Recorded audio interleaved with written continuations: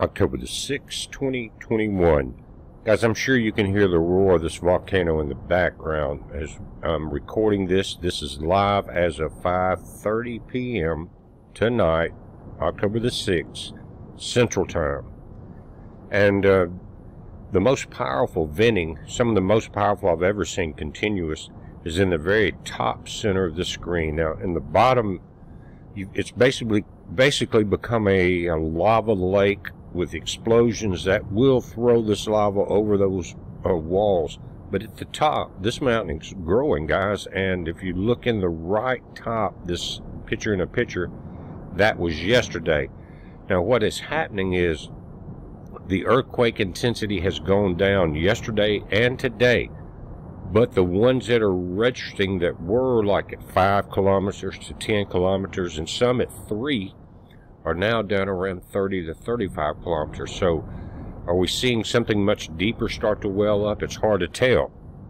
I mean, this is kind of new. You've got a lot of technology that's involved in watching this volcano and the measurements that are coming out.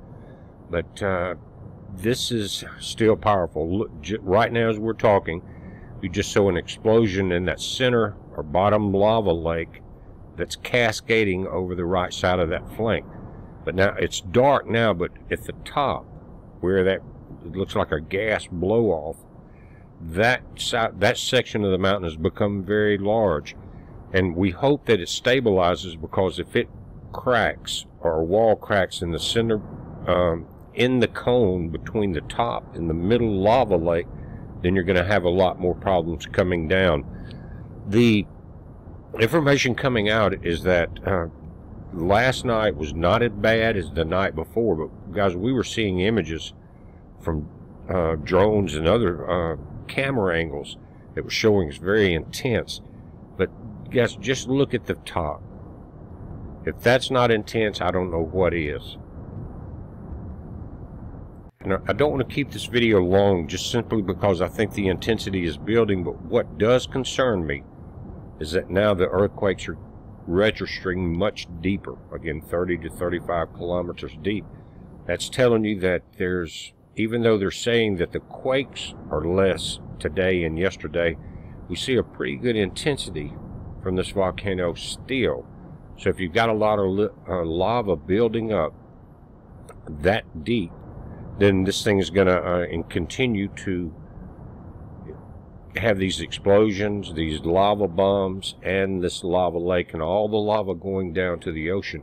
And it's interesting to look back in history at where the lava has formed through here because technically they say these volcanoes are moving from north to south. And you can see along the southern edge of La Palma many craters.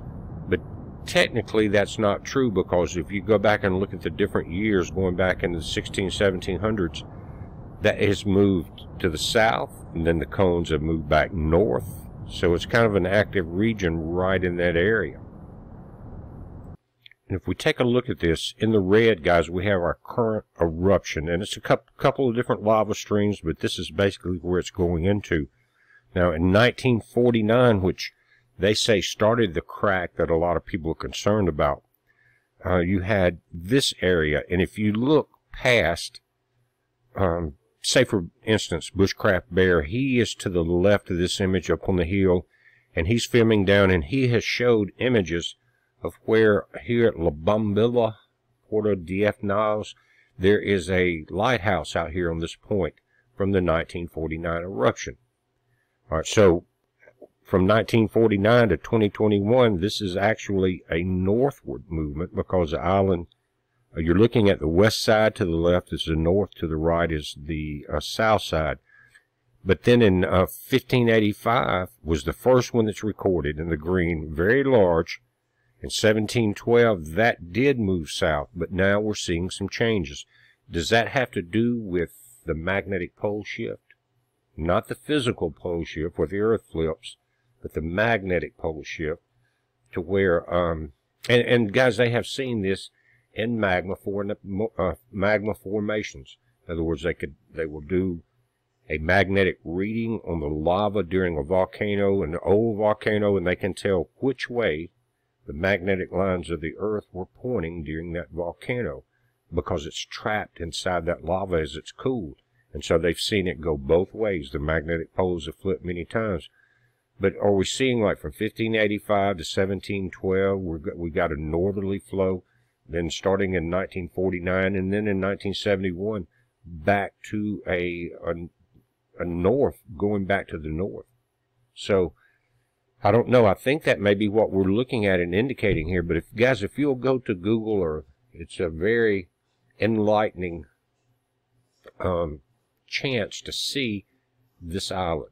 Go there and look, and you'll see it from 1949, 1585, 1712. All of these areas, all the way up to the new one, are massive banana plantations, greenhouses. They're growing there, uh, so they're taking advantage of what the Lord gives them when uh, nature gives them because the earth is ever changing. You're looking at evolution uh, or evolution that began when the earth began, millions and millions of years ago. But just to me, it looks like we are now moving more to the north, and it could indicate because you've got uh, metal in lava, you got rocks and other things like that, but different types of metal, and that's what's trapped when they do these uh, magnetic signatures showing which way it was the Earth's north and south was during these events. And I think that's what we're seeing. So it's it's kind of neat to take the technology that we have and look at history and see where this movement is. Now, does that mean that uh, as we again look at the red 2021 movement here, that the next one will be closer to the main volcano to the left, the very large one that is basically was the formation of the island? And since then, the island is formed in these lower areas because of these explosions. But I would say that we're now in a northward uh, movement. If you look at the National Geographic Survey or the Spanish uh, meteorological and geographic information, they still say that everything's moving to the south. But I think we've seen a change. And I think that's what we're looking at now. Guys, uh, again, we're watching it. You watch it.